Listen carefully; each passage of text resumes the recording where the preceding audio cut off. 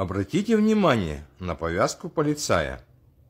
Это хроника с той мировой войны. Посмотрите, какой флаг? Понятно. И теперь вам понятна взаимосвязь фашизма и территории зашизма. Как-то так.